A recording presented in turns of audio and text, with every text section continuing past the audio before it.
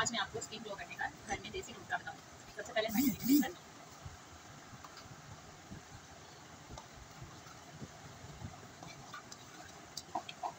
बेसन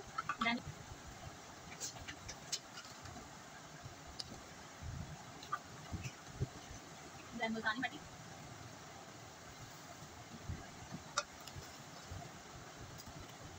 हल्दी हल्दी।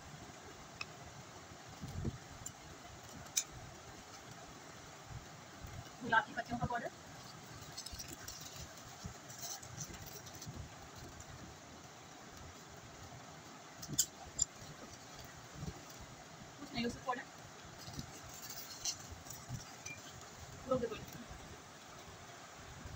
संदल पाउडर इन सबका आपने मिक्सचर बना लेना है और जब भी आपको नीड हो, आपने